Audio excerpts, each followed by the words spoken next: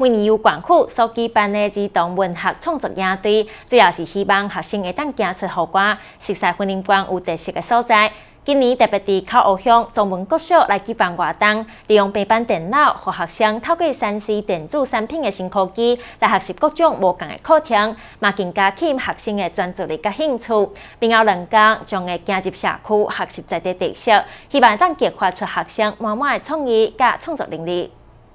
暑假开始第一天，学生就到学校来学习新的知识。由广府文化处主办儿童文学创作营，将丰富的资源带来考湖乡中文国小，希望偏乡的学生囡仔，马透过文学营，得到课本以外经验内容。那也希望同学透过这个文学营，在呃除除了学校以外的课程，有更多生活上的知识尝试，呃可以获取。姐姐来自福林关各乡镇的小朋友拢报名参加活动，校长嘛自去年开始就甲老师做伙研究课程内容，就是希望囡仔学到上有创意的文学知识。包含说我们主要的刘红老师，我们从去年的十月，那跟我们的科长一起来研究这个文学影的一些课程，哦，所以里面的课程内容非常的多哈。那也希望说，经有这些的活动，让小朋友能能够学习的更完整。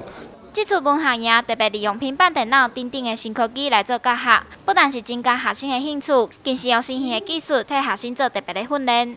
因为我们现在的写作哈，很注重就是搭配我们的素养。那未来小朋友的写作呢，很多都是比较新颖的。所以，我们这次的呢，搭配着的写作话很特殊。我们用平板去查资料、看资料，我们再来写，而且搭搭配我们的 VR 跟 AR，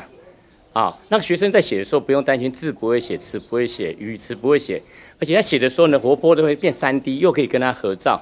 的一种功用。所以，无形中我觉得今这次的那个写作也是非常非常的丰富的。